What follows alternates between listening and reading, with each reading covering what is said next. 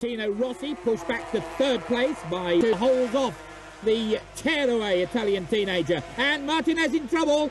He's hit a problem, slowed dramatically. Now, I wonder whether the bike nipped up or... Let's see what's happened to Martinez. Back with the two leaders now, and they're going to be joined very shortly. Rossi on the inside dives through to go ahead of Tokudome. And uh, that looks like uh, Sakata, the swing of things. There was the uh, Team Dita Plastic crew, and they're watching where their man's going, and he's going backwards as well at the moment. Tokudome, well, can Kazuto pull off his best result of the season? And Rossi now got back ahead of Martinez. This is absolutely incredible, side by side. Who's going to give way? Surely it won't be Rossi, it is. Martinez just bundles his way through. Valentino Rossi once again takes a totally different line to anybody else. He'll go to the front again, late demon breaking from Rossi this time. The youngster, the teenager, ahead of Martinez, and surely he's going to hang on now. This will be his first Grand Prix victory. He's pulling away victory at last for Valentino Rossi. Oh, and he almost swipes the wall in his delight. And congratulations all round in the pits. There's Rossi, his first ever Grand Prix victory. Great ride from Martinez. Manako third behind, which has led us to fight for victory in the last lap. At the worst, I could have been second, but I've managed to be first, so it's good.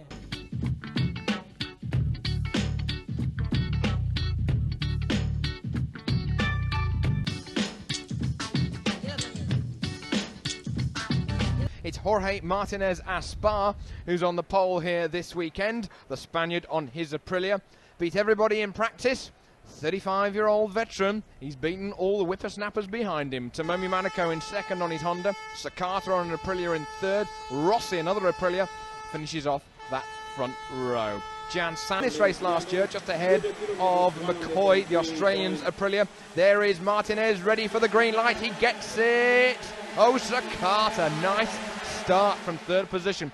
Black Machine, yellow number eight, streams down to the first corner. Sakata that leads from Jorge Martinez as they tip it all in. There is Nieto Jr., but it is Sakata from Martinez, from Tomomi Manako, from Gian San is Valentino Rossi's pit crew on pit wall. He's in the lead. Rossi now leads just ahead of Kazuto Sakata. Right then, Rossi's got it, but Sakata's not going to give this one up. We've got Aprilia 1 2. Manako is in third position, but he's on a Honda. Manako and Sakata, they haven't won a Grand Prix this year. There's Valentino Rossi's crew on pit wall. They are keeping him abreast of the situation, and they're going to tell him Martinez further back, and then Manako a very lonely fourth position. Ueda in fifth. He's really charging through, heading that group for fifth position. Oh, but Scalvini's trying to take it away. The yellow helmeted Italian on his Honda, but he's got Masaki Tokudome, blue number two, behind him. There he is, and Alvini ready to pick up the pieces in case anybody has a moment.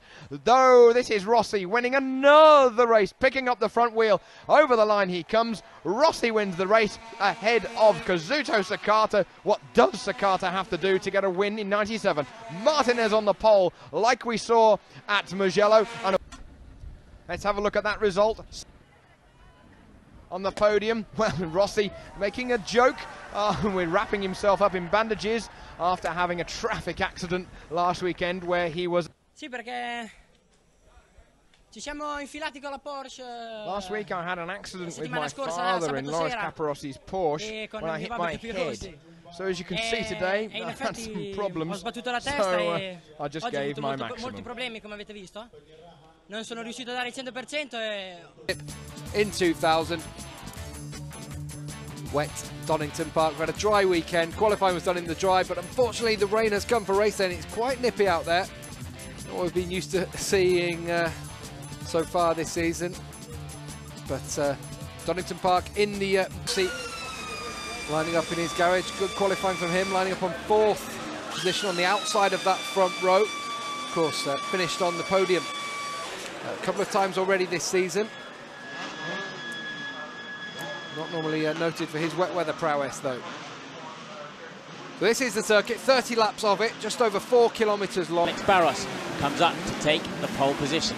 There's Barros, Roberts, McCoy and Rossi. That's your front row for the Donington Park, the British Grand Prix The red flag goes away and the lights go to green. Away they go. A shocking start from Rossi on the outside of the front row. But a great start from Barros. Looked as though he'll get into Redgate first, just ahead of Regis Laconi. And it's Laconi who takes the whole shot. It is Valentino Rossi have really struggled in this opening lap, but Valentino Rossi is starting to make up some ground now.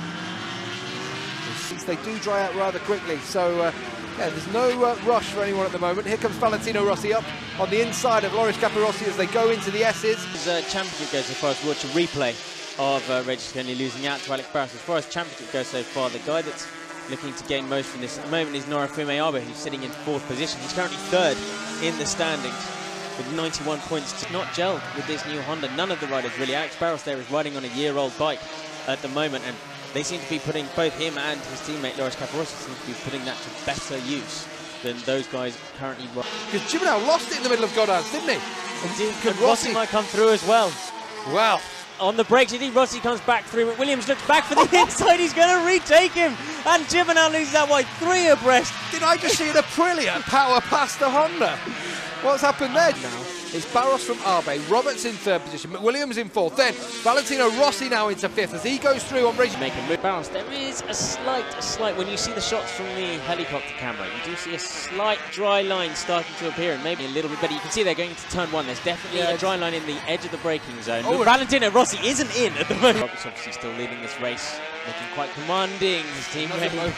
It's always coming through through Goddard, so he is off camber uh, going through there and coming out as well. Just have to make sure you pick up the bike at the right time to do it. Just slightly leaned over. He's taking Jurgen van den Goorbergh with him though. Pretty good ride there from the Dutchman. Valentino Rossi now up on the inside of Jeremy Williams. He's caught him in less than a lap. And oh, so. There's no Rossi now is the man on the move trying to close down. Oh, Kenny there was a moment there. Aoki's down. Aoki's gone down. Well, he's seen, haven't we? Saw that happen on the very last lap. We've seen it happen so many times around the corner. Just uh, too much movement from his back wheel, and Aoki goes. But Williams only a further seven tenths behind as well. So three men in with a shout of victory here, and. Uh, all of them with their stories to tell. Valentino Rossi, the reigning 250 World Champion. He's currently leading the World Championship, being tailed by the best British rider we've seen in a long time in the 500cc class, and now he takes the lead Listen into the, the old. That was confidence for you. That is, I'm just going to 500, perhaps giving him more confidence in the wet than the 250s and 125s ever did. He's showing it now because he's got to run on Kenny Roberts down into the S's, cuts across the dry line onto the wet, back onto the dry, and says, thank you very much, I'll take second place. Valentino Rossi then on the move up into second position once again. He already everything and really ragging that Aprilia. Actually seat every single corner now. They head down to the S's one more time. Three and a half laps. Could throw a blanket over all three of them, couldn't you? Probably so wanted as well. It's chilly. it's still not warm. It's still not warm despite it stopping raining. Here comes Rossi. Up on the inside at Melbourne Loop, Valentino Rossi's going to go through and he's going to take the lead. And see what he did there. Went straight back into the dry lines. And he wants to break the other riders. Further down the order, you can see Loris Capirossi is 18. It looks like this race could belong to Valentino Rossi, unless there's a mistake. Roberts does claim second for McWilliams. Holds it tight cruel, this time. How cruel is this? His first ever Grand Prix victory in the 500cc class. He does. Rossi wins from Roberts in second place. McWilliams, what this celebrates with Mick Doohan, uh, the former uh, crew chief and the former world champion, of course, but the new protege of Mick Doohan and of Jeremy Burgess is Valentino Rossi, and he takes his first ever victory in 500 and look how happy he is with it. Should just hold on to that. Regis Laconi, John McGuinness getting points Good on, uh, his, right? uh, on his wild card. Gary McCall. Chip challenge, second place for him. But the race winner today is Valentino Rossi, his first ever 500cc.